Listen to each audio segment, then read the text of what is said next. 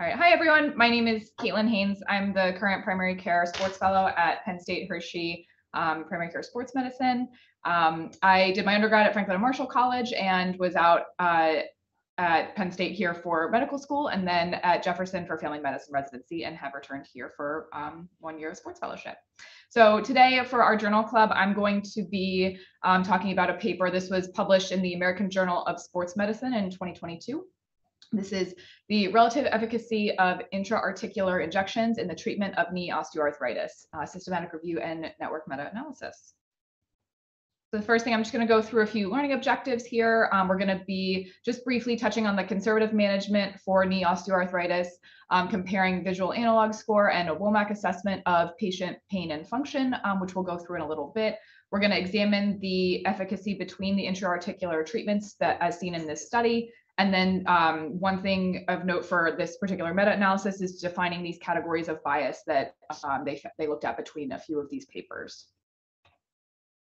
So just some background, uh, patients spend an average on 13.3 years on non-surgical treatment options for symptomatic knee osteoarthritis before undergoing a total knee arthroplasty, which as you can imagine is quite some time to be dealing with uh, these symptoms, especially if patients are having a good degree, a good amount of pain. Um, so just trying to optimize what conservative measures we have for them uh, is, is very important. There's strong evidence that exists for various conservative measures, um, uh, oral NSAIDs, aerobic exercise, weight loss, particularly with BMI over 25, uh, and then supervised physical therapy programs have all been shown to have um, uh, have good evidence behind them for helping with pain and function. Um, however, some patients uh, do experience uh, particular barriers, whether they're able to tolerate or take NSAIDs given other medical comorbidities, um, whether they have access to um, uh, supervised physical therapy. Uh, so just looking at other ways that we might be able to help give them um, some relief um, or some improvement in quality of life. So um, the long-term efficacy of intra-articular injections is largely unknown. There have been um, some studies previously that show that they produce positive short-term outcomes, but not as many looking at long-term outcomes. Um, there was a recent uh, prior meta-analysis that was comparing intra-articular injections for, for knee osteoarthritis that reported that cortisone demonstrated uh, superior pain relief when compared with PRP, hyaluronic acid, and placebo. Um, this was some. This was a, a meta-analysis that looked at 53 randomized control trials, um, but they uh, the follow-up for this study was limited to 42 days, so just about six weeks. Um, so this uh, paper then that we're looking at today was uh, the goal was to look a little bit further down the road and see um, uh, a long-term efficacy um, comparison. So the, the, purpose of the paper, assess and compare the efficacy of currently available intra-articular injections used in the treatment of knee osteoarthritis. The ones included in this paper were hyaluronic acid, corticosteroid, platelet-rich plasma, and plasma-rich in growth factors. The plasma-rich in growth factors was one that I wasn't as familiar with. It's just not something I've um, worked with just yet. So uh, I just wanted to briefly mention the, the purpose um, for plasma-rich growth factors or kind of the thought behind how it's functioning. Um, it's promoting growth factor proliferation without furthering cytokine damage. So in a sense, it's, it seems to be similar to what we think about with a leukocyte uh, leukocyte poor PRP. So there, there's an absence of leukocytes, which could potentially minimize any further pro-inflammatory reactions and may improve the injection uh, efficacy without doing any further damage. So uh, the hypothesis for this paper, there would be no significant differences in treatment outcomes based on the type of intra-articular injection that was used. So the study design, as I mentioned earlier, this was a meta-analysis of randomized control trials. The data was analyzed then to compare effects of the intervention groups with the placebo on patient-reported outcomes. So they pulled together data from these randomized control trials. They ended up with uh, um, with 23 randomized control trials, and we'll kind of go through how they landed on those studies in just a little bit. And then they assessed also for some uh, for homogeneity between the studies to ensure a fair comparison of the data outcomes. So this was their inclusion criteria. They had quite a few, um, which then resulted in the number of studies that they uh, they um, ended up with. So uh, these were some of the criteria that they included. They, it was designed as a randomized control trial. It was either written in English or translated into English, uh, included human participants, evaluated similar treatments and outcomes um, with these comparisons of interest. Evaluated a population with radiographic or clinical evidence of knee osteoarthritis, and then included a minimum of 30 patients per study group and had a minimum of six month follow up time. Again, one of the big hallmarks of this paper was they wanted a longer follow up. So they ensured six months. This was a um, the flowchart from the paper kind of narrowing down. They started with 4,700 papers and then kind of narrowed down based on which papers were meeting these criteria. Um, the systematic review was performed according to PRISMA guidelines. This is preferred reporting items for systematic reviews and meta-analyses. And then they narrowed it down at the very end, like I said, to 23 randomized control trials meeting these criteria. Getting into the methods, the, they looked at the mean and mean change from baseline scores regarding pain and function, and they were, were recorded at the six month follow up. And then they were converted either to a, on a scale of one to 100, a visual analog score for pain or a zero to 100 WOMAC score for function. And then for data analysis, they also looked at the minimal clinically important difference um, values, again, compared for pain and function separately. Um, the, these values uh, for statistical significance were based on previously published literature. Um, and this was, they used a, a score of 19.1 units for pain um, visual analog scale as being statistically significant, and then 8.0 units for function as being statistically significant. And then the magnitude of the effect sizes um, were felt to represent potential clinical significance if the value was between 0.5 and 1, and likely clinical significance with the value greater than 1. So this is just thinking through visual analog scale, just a very basic 0 to 10, what's your pain? Um, this and then was converted, as I mentioned, on a scale of 1 to, oh, I'm sorry, of 0 to 100. And then getting into what the WOMAC score is, this is Western Ontario and McMaster University's osteoarthritis index. It's used routinely in evaluation of knee and hip osteoarthritis. It's self-administered. It's a questionnaire looking at 24 different questions, but divided into three subscales. The one they really focused on for this paper in particular was looking at physical function, which asks uh, it's 17 different items assessing how they're functioning during the day. It does also have some uh, degree looking at pain and stiffness. Um, but in terms of assessing physical function, they're asked about um, uh, using stairs, rising from sitting, bending, walking, getting into and out of a car, something like putting on your socks in the morning, getting into and out or, or out of a bathtub. So things on a day-to-day basis, just kind of to assess or estimate how patients um, are in terms of their functional status. So this was table one. This was looking at um, the patient characteristics and the number of injections. So in total, with all of the papers kind of pooled together, it was looking at 4,600 injections. Um, some interesting things I thought on this table in particular is if you're looking at the number of injections here, of the 4,600, 2,300 of them were hyaluronic acid injections, um, and then only 500 of them were corticosteroid injections. Um, just I thought something you know interesting compared with um, I guess the proportion of those that we usually see in in our clinical practice here is just a little bit different. But um, I, that was one thing I wanted to point out. And then also BMI, I thought was interesting across all of the pooled studies. On average, mostly looking at a BMI around 28, um, getting up to 30 was the highest that they looked at. Um, so again, just something a little bit different than than usually the patient population that we um, treat for osteoarthritis. So um, this is the this is another table looking at um, it's it's starting to assess kind of some of the um, homogeneity or heterogeneity between some of the studies to uh, uh, assure that the comparisons were equal when looking at the data. Um, but overall, it indicates no significant difference between looking at direct and indirect evidence within the network. So kind of assuming homogeneity for their pain and function outcomes. Um, the other thing of note for this table is starting to look at um, which we'll get into with the um, with some of the other tables here, but looking at that PRP versus the hyaluronic acid was one of the only um, one of the only modalities in both pain and function that was clinically significant um, as being superior to hyaluronic acid. So getting into results, um, all our all intra-articular treatments except for corticosteroids were found to result in statistically significant improvement in outcomes when compared with placebo.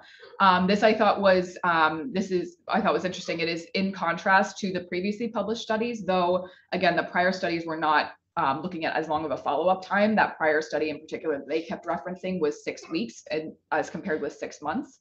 And then PRP was found to possess the highest probability of efficacy, um, then followed by pl plasma-rich and growth factors, hyaluronic acid, then corticosteroid, and then placebo. So these are two um, forest plots looking at, uh, as you can see on the left is pain improvement, on the right is function improvement. So starting with the left, again, you can see PRP has the um, demonstrated the largest difference in, in patient outcomes for pain and in function. And then corticosteroid had the lowest in terms of pain and function improvement. And these again are looking at these minimal clinically um, significant uh, differences between the groups. This table, they then actually pooled some of these even together and looked at some mixed treatments or mixed effects for pain and function. So they looked at um, they looked at uh, the top half of this table is looking at pain. Um, the the modalities that were statistically significant are bolded, so you can kind of see under pain, um, hyaluronic acid and PRP um, that that value was clinically significant or statistically significant. I'm sorry. Um, but then the only um, of the five mixed treatment comparisons of pain outcomes uh, in the top, three of these had effect sizes that were large enough to have potential for clinical significance. However, none of them were actually deemed clinically significant for pain outcomes. In the bottom, um, again, you can see there are five mixed treatment comparisons for function outcomes um, that were statistically significant that are shown in bold. Um, and of those three, the ones that I have highlighted in the blue boxes here, three had clinical significance, um, and that is comparing corticosteroid versus PRP, placebo versus PRP, and placebo versus uh, plasma-rich growth factors. And then this was just one other way to represent the data here. Um, again, looking all the way on the right for PRP, each of these bars represent pain, function, and then combined uh, respectively. So just a bar chart looking at um, outcomes for pain function combined, and then you can kind of see it kind of tapering off as we go towards the left side of the graph towards um, hyaluronic acid, corticosteroid, and placebo. And then this was the, uh, again, just one more way to list it in a table form of um, looking at pain, function related improvement, and then pain and function improvement combined, um, and just in that same order of outcome. Lastly, this was um, the a figure looking at risk of bias, um, particularly in these meta-analysis, uh, kind of comparing some of the papers and pooling the data together, wanting to kind of identify any areas of bias that might exist. So the first one that it's talking about here, allocation concealment, so selection bias. So overall, just making sure that researchers are not um, consciously or unconsciously assigning participants from one group to another. Um, there was one trial they mentioned that had unclear uh, that had unclear methods of doing this, um, so they didn't really specify. So that was listed as an unclear risk of bias, and then um, one that was performed that they did not at all. Um, they they this uh, researchers just kind of selected who was going into which which bucket. So um, they put that as a high risk of bias. There wasn't a true like randomization process.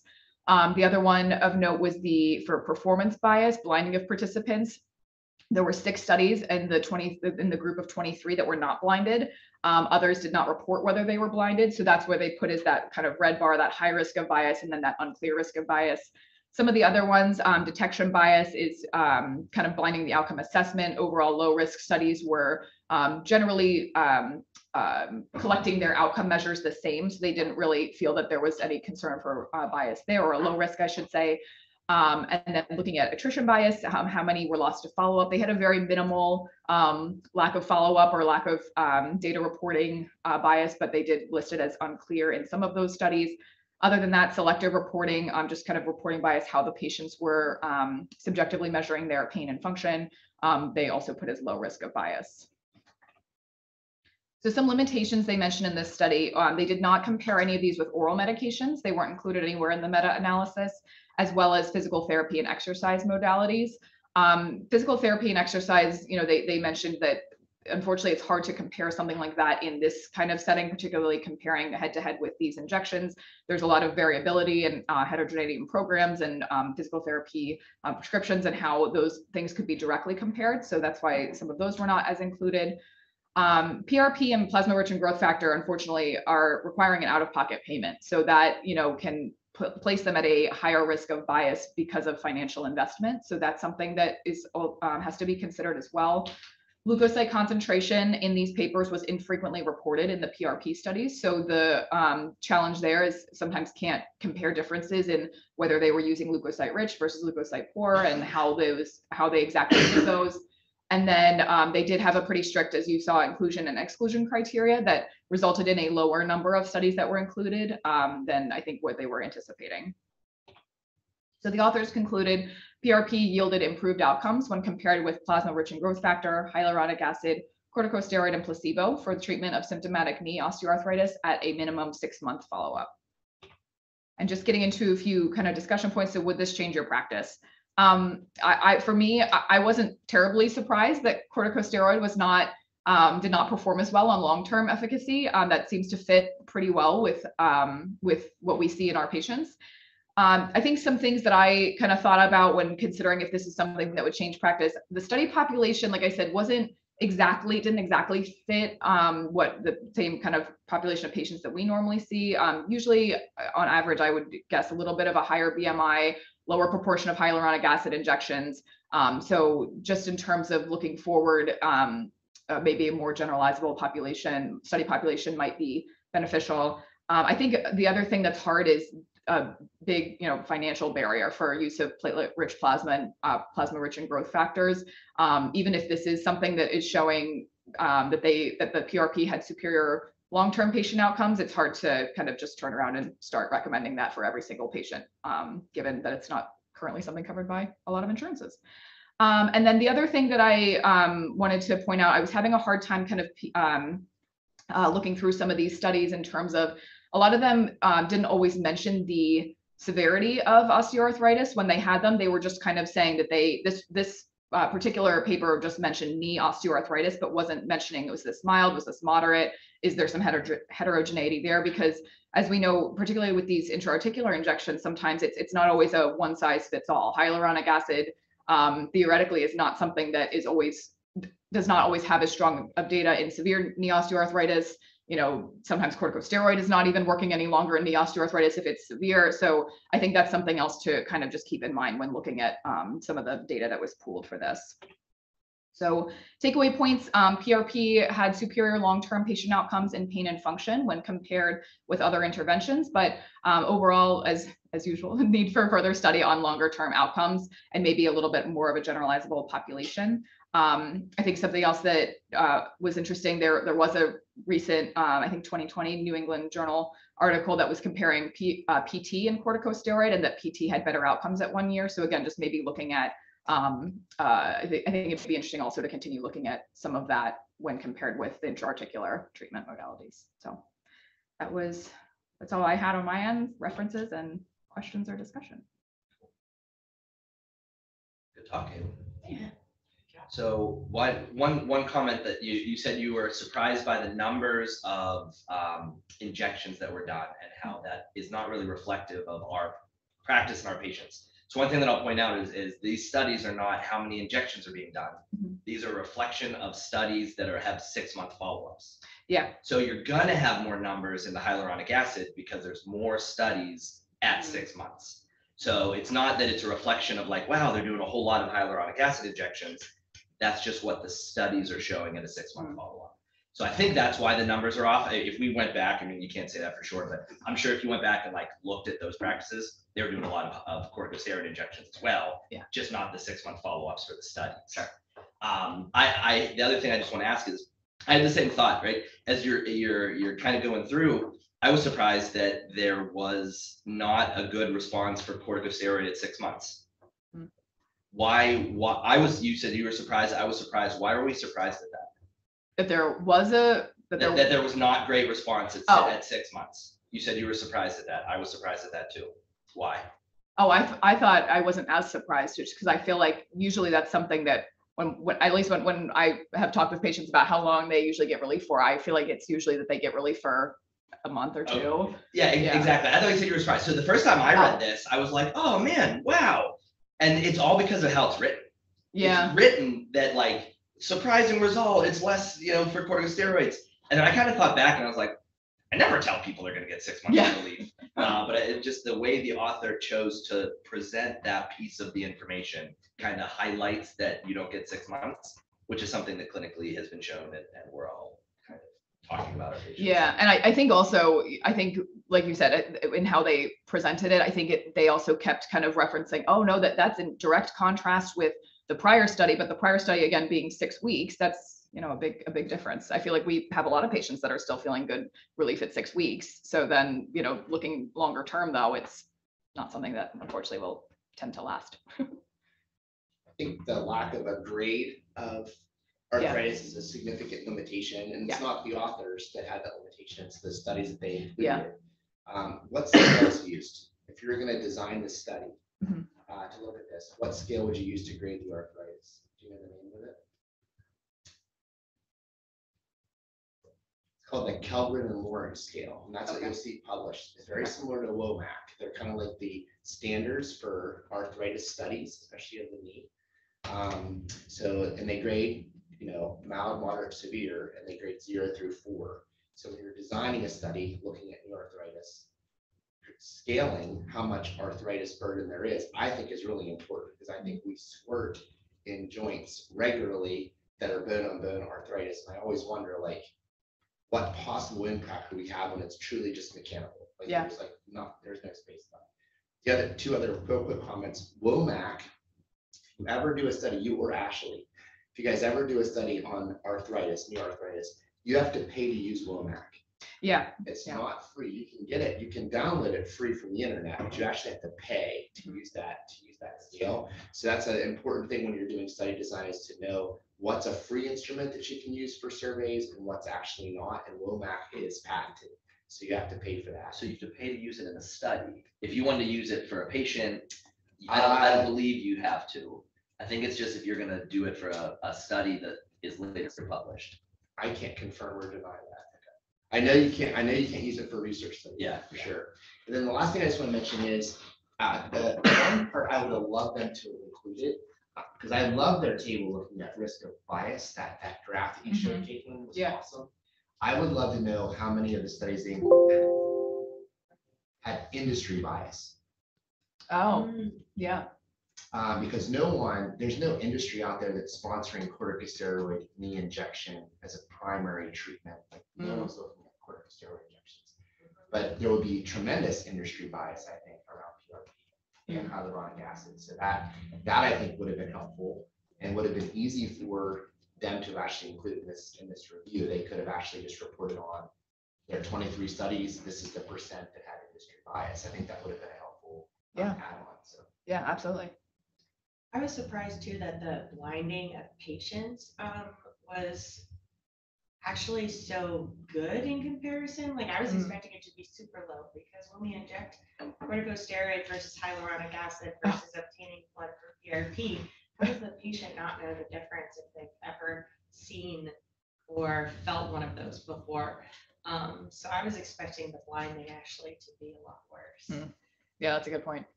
And I like that you commented on the BMI of being twenty-eight, um, when we know that there's a huge, um, proportion of patients with obesity who have orth- arthritis. I'd say the majority of my patients are obese Mhm. that I'm injecting with arthritis. So Yeah. this was very unusual and, and this systematic review was international. Mhm. So these people, these studies are coming from all over the world. Um, so is it generalizable to your practice, do you think? Um, what you see here in central Pennsylvania? Not currently, no. I, I, no, I don't think so. Uh, but at the same time, what do you, overall, so we can sit here and poke holes in studies all we want, right? That's the easy part, is journal club. Mhm. Uh, but, you know, when you, uh, just, when you look at this study compared to a lot of things that are published and that, that are out there, I mean, what's your sense on, um, the information you can take from this? Like, di- is this information that you can use in your practice, do you think? Yeah, I think so. I think that, um, again, I think one of the big ones just is, you know, I feel like we have patients all the time that ask us when we're doing an injection, whether it's, I mean, I know this one's just looking at knees, but you know, I, I feel like we get it all the time, like how long is this cortisone injection gonna last? And I think that, I mean, I'm- I feel like we're usually very upfront with patients and just say it's, hopefully we'll get you long-term relief, but we know that it's, it's not something usually that's going to be, you know, lifelong. They may not have reversal of their, it's not treating the arthritis, it's just a way to help with pain. So I think just this, this article being one that is showing some, some data that's, that it doesn't have a good long-term uh, efficacy and just letting patients know that it may not be a long-term solution uh, for their pain management. And then also just another study looking, um, looking at, or some more data looking at PRP for possibly for future kind of management of osteoarthritis. I know it's not something that's, you know, as readily available right now, and it's not as something as financially uh, available for everybody. But I think if we can continue to look at some good solid data behind it, I think that in the future it could be. So I think that's something that we can continue to talk about with patients.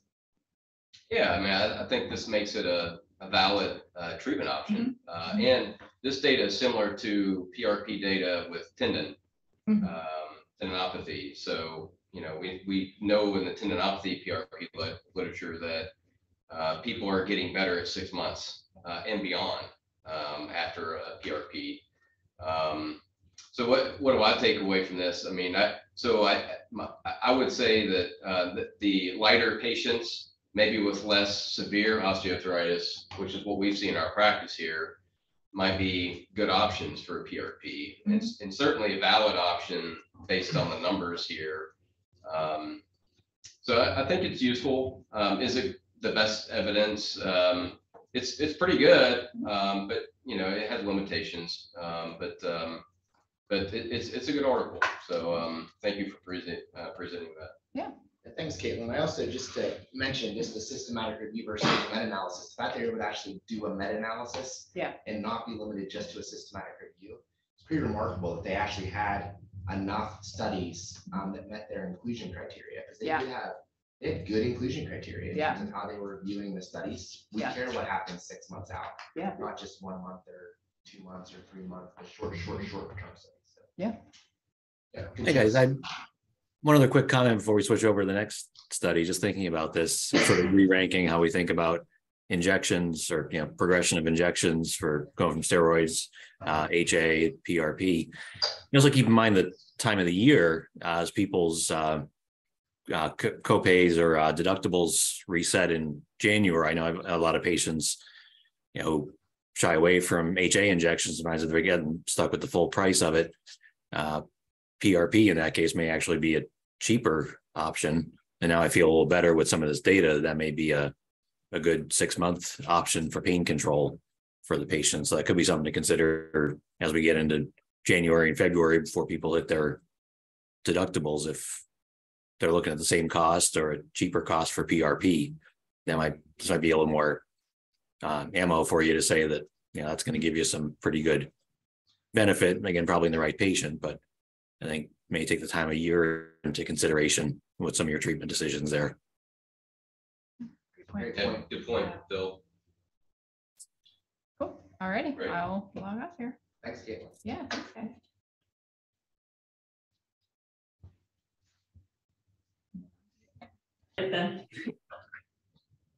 Okay, hello everyone. My name is Ashley Sturts. I'm the primary care sports fellow at Penn State University at our location up in State College. Um, I went to William Mary for college, went back home to New Jersey at Rowan for medical school, and then I've been with Penn State Health since then. I did my family medicine residency down in Hershey and now here in State College. Um, for our journal club presentation today, um, I decided to focus on a topic that I think Caitlyn and I have seen a lot of recently in the past month or two.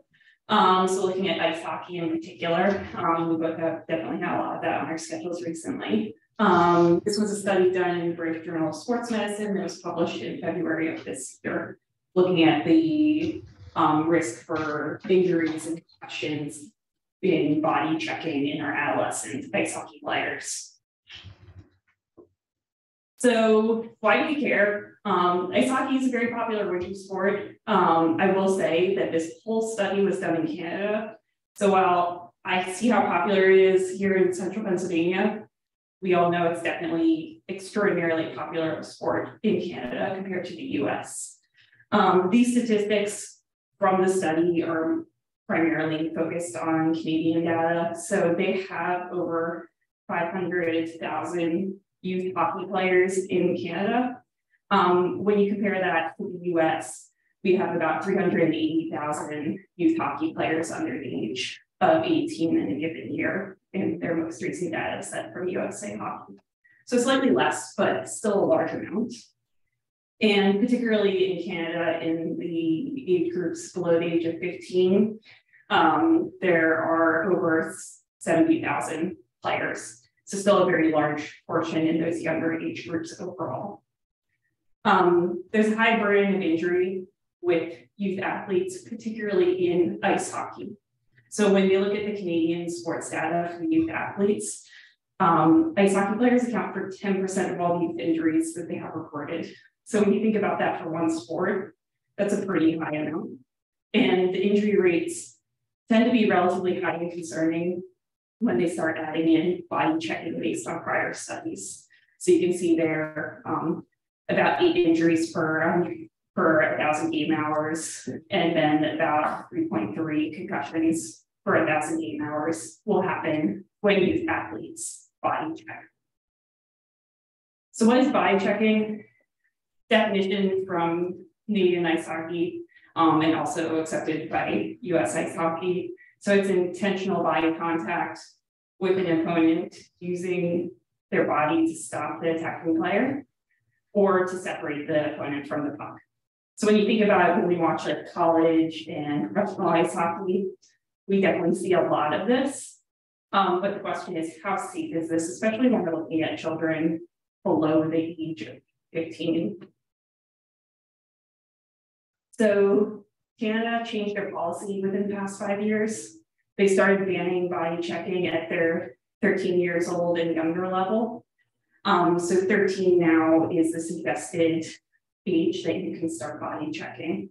Um, there have been some studies that were done when they put that ban in place that showed that there's about 50% reduction in their youth injuries overall in ice hockey in those players under 13, and also a 64% reduction in concussion, which both of those numbers sound quite large and quite impressive. So that's why this study really looked into how beneficial this might be going forward for hockey athletes.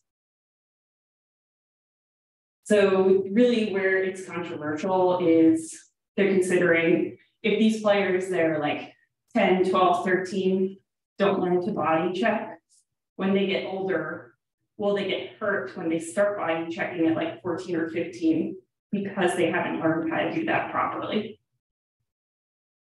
So their study goal was ultimately to provide further evidence regarding ice hockey body check policy changes.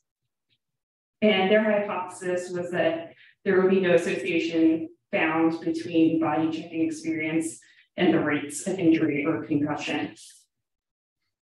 So the methods they use, this is a prospective cohort. So when you look at this study, this is actually a strength in this study compared to prior ice hockey youth injury studies. Most prior studies were focused on a single season with only one or two teams. You'll see in this study, they did it across six seasons between 2013 and 2018. Um, and that allowed them to get more of a longitudinal perspective and many seasons of data to sort of strengthen the point they were trying to support. Um, their inclusion criteria was U15 hockey players. So that specifically only includes 13 and 14 year olds. So just players in those two ages. Um, the leagues had to include, accept body checking and there needed to be parental and coach consent. Um, the locations, they chose three locations across Canada to try and get a variety so they weren't limited to just one region. A limitation with this inclusion criteria is that since leagues have, leagues have to include body checking, um, no women's or girls leagues were included because there are no youth women's leagues that allow body checking. So you'll notice when you see the data, it's basically all focused on 13 to 14 year old boys. So the data collection, they tried really hard to get a selection of tools that were validated to sort of set up a baseline. So they used the preseason baseline questionnaire um, to figure out uh, prior injuries they might have had that could sort of sway the data. Um, they had a representative fill out a weekly exposure sheet sort of documenting the injuries for the different athletes on a given team that was part of the study. And then an injury report form was completed on any game day injury that occurred. So only injuries from games, nothing that happened in practice. And those forms were completed by study selected athletic trainers and physical therapists only. So that information from the injury report form played a big part in the data analysis that they did. Um, the outcomes that they looked at were injuries that had greater than seven days of lost time or concussions that had greater than 10 days of lost time. Um, and those are numbers that they felt were really supported in prior studies for ice hockey injury so that they could have some consistency in comparison with prior studies. So the results when we start to look at this, um, overall there were um, 1,842 player seasons. And they broke these down into those 13 and 14 year olds that had no body checking experience, one year and two or more years. The max they could have was three total years, um, just based on the way the um, current policies in the Canadian ice hockey was arranged. And you can see there the numbers are relatively similar across each group, which made for a nice comparison. Um, the median number of weeks of participation was about 20 weeks um, for each athlete that was included, but ranged anywhere from just four weeks or up to 30 weeks. Um, as mentioned, they only included injuries that happened in games. So it's important to know that the athletes that we are including were in games. Um, so 96.3% had at least one week where they played a game. Um, the average number of weeks that any given player was in game time was about four weeks. And that doesn't um, include how many games happened in a single week. Because as we know with ice hockey, they may have a couple games in a single week. So they gave this huge table of just their baseline data. And I think it has a lot of good information of just how they're able to equally balance out um, different regions of Canada, the seasons that players played, um, as well as the number of years they've been body checking. Um, the most important thing that I just pointed out is when you're looking at the category of just gender here, uh, you'll see that in the vast majority of the categories, there are no female athletes. There are small numbers that you'll see. Um, so four, three, 12, three, and six. So those are um, girls that chose to participate in the boys league, um, which is great that they were able to have that experience, but it's not really enough from a number standpoint to really be able to apply this data to um, girls ice hockey necessarily.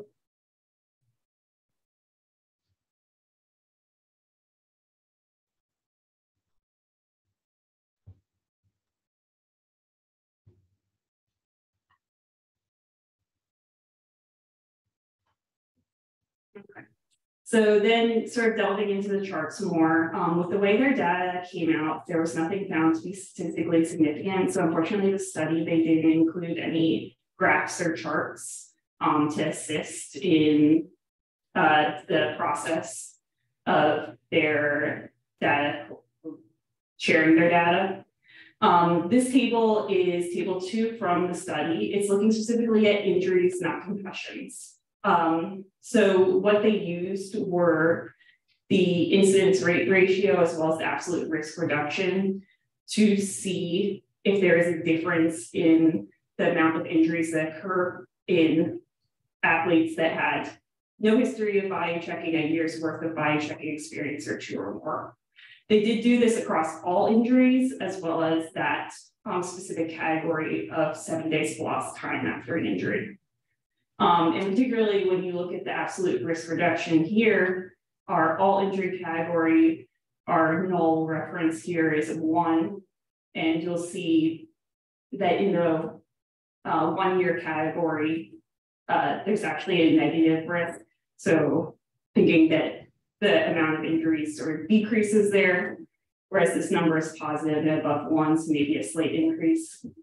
Uh, but unfortunately, you'll see with the confidence intervals, they cross that one point either way, so they're not st- statistically significant. Um, you'll see the same, exact same pattern here, um, when you look at the injuries that had greater than seven days lost.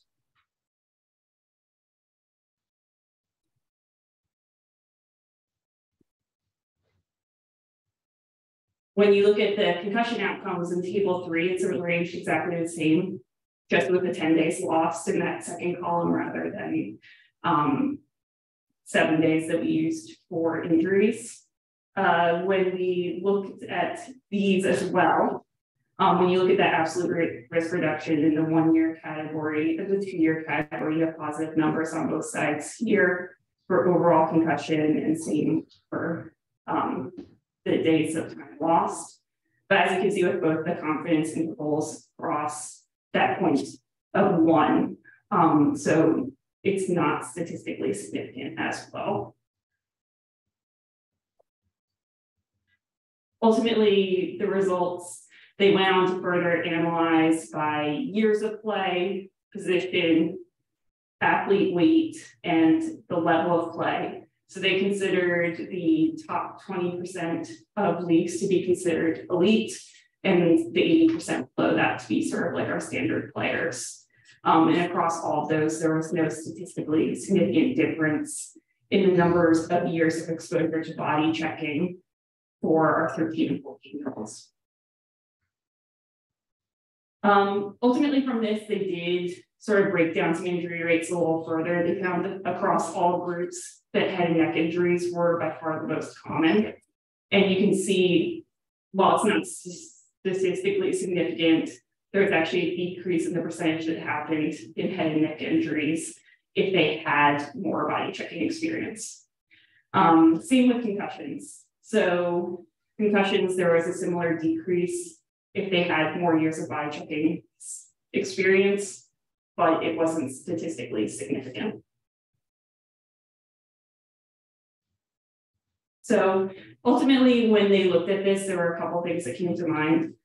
Ultimately, their hypothesis was very much supported by this data because there was no statistically significant difference in the number of years of body checking that the athletes had with regard to the rates of injury or concussion at that U15 level in Canadian youth ice hockey.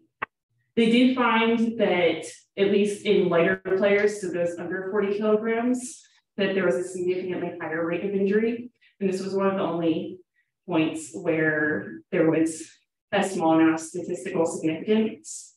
And that was across all experience with checking or not body checking. But was something that fit with um, some prior data. Uh, there was a 74% increase in the rate of concussions in lighter players too across all experience with body checking, but this was not considered statistically significant. Um, so that was something to keep in mind as well. They looked at different positions and found that forwards had the highest risk for both injury and concussion, and that one of the risk factors that stood out were a history of injury or concussion to predispose athletes to having um, another injury or concussion. So there are several limitations with this study. Um, the first being that the volume of body checking is not something that we know for each athlete. We just know if they were playing in a league where they body checked or not. We know that some athletes might be more aggressive or advanced in their skills and might body check more often. And we weren't able to differentiate that within the data analysis. Um, as I mentioned several times along the way, game related injuries were the only ones included. So anyone who had injury at practice, which absolutely can happen, was not included in this study. Uh, there were many factors that could confound return to play. So when they selected that seven days lost time after injury or the 10 days after concussion, um, there are a lot of factors that play in, um, such as if the next game coming up, how important that was to the athlete, um, if there were other illnesses going on, the severity of the injury, and we just don't have access to those um, more specific details that could have been confounding factors on the class they got back to a next game. Um, questionnaires that they used, particularly the first one to look at the patient's uh, and athlete's prior um, histories of injury, have some recall bias with it because it's dependent on the patient's memory. Um, the injury report form doesn't have that bias with it as much because we had study selected athletic trainers and physical therapists that were really giving us information on the current injuries that are happening during the study period. Um, there were very few female participants, and there was also a set of selection bias. So they were limited in the number of teams they were able to pick up because each team that was included in the study, they needed to have both parents and coaches on board. And they also needed someone to volunteer as a reporter for the weekly injury report forms.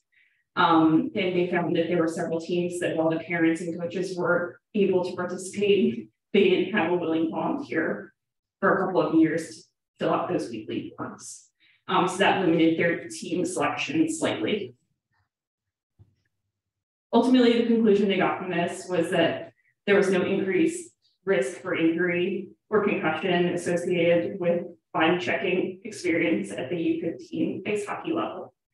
Um, the reason this is important is because right now, both in the US and in Canada, they don't allow ice hockey um, body checking below the age of 13. So this U15 group is currently the first age group where they're supposed to start learning to body check. And what they found with this study is that U15 age group, there doesn't seem to be an increased amount of injuries or concussions that are occurring. So there's probably not a risk for greater injury from not learning to check body check when you're younger. Um, it seemed like this from reading and looking further into this, um, there's a lot of just like experiential evidence from coaches and players that they feel like you're more likely to get hurt if you don't learn to body check when you're young. But this study is a larger study, a longer study. It really helps to say that's not actually true. Um, if we can let our athletes stay healthy and safe when they're below 13, they can still learn to body check in this adolescent range of 13, 14, 15 safely. And that is my presentation.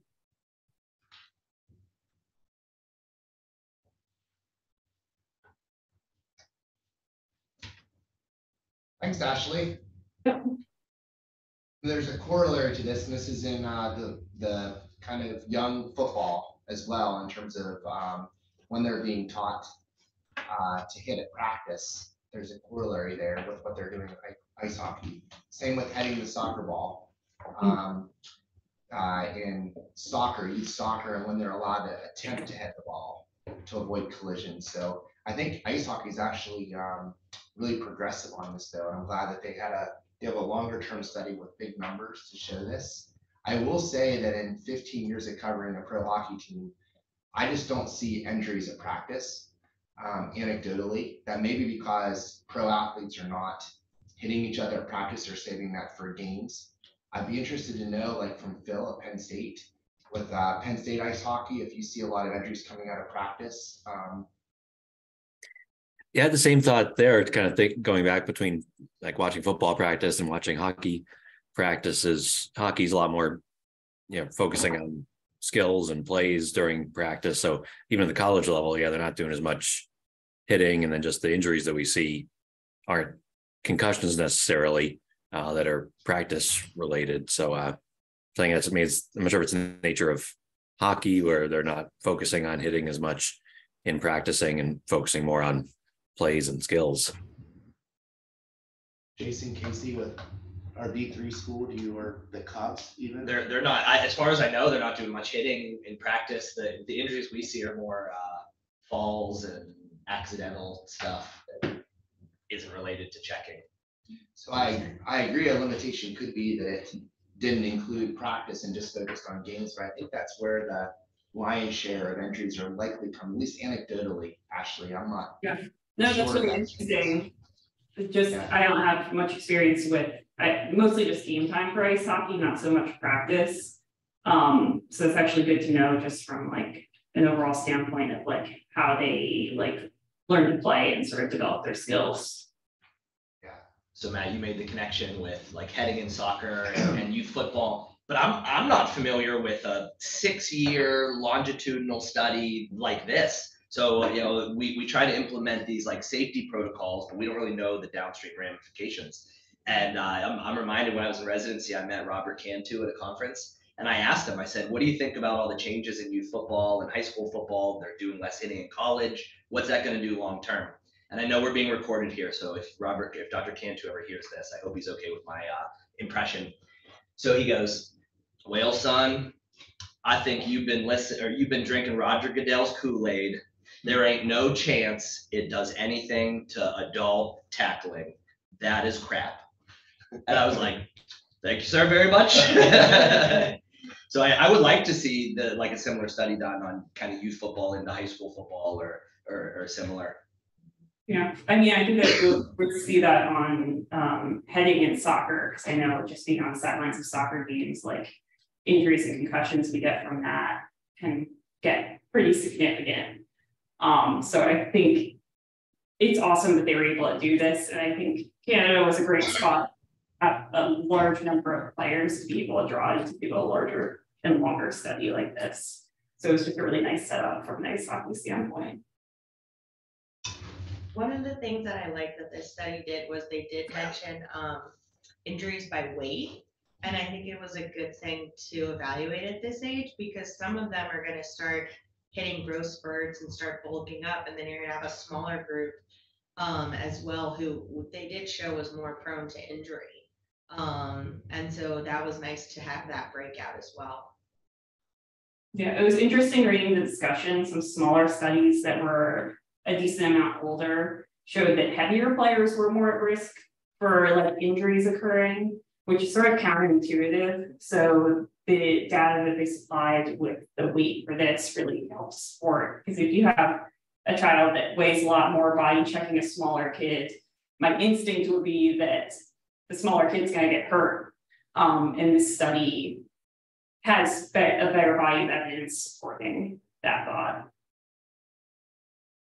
I love for you and Caitlyn, as you think about your future careers and scholar, I know you're both interested in scholarship and how you want to look at asking questions and answering those questions. I love Ashley that you actually took the time to like note that coaches and um, maybe parents had the perception that making that rule change would have led to more injury because the kids just weren't as um, experienced with body checking and you, this study actually answered the opposite, right? So I love asking questions based on people's anecdotes and actually demonstrating is that true or not true. Um, and that's uh, those those we need more of those studies in sports medicine. I feel because I think a lot of stuff is done based on people's experience or anecdotes, and it's it's right for research to answer those questions. So.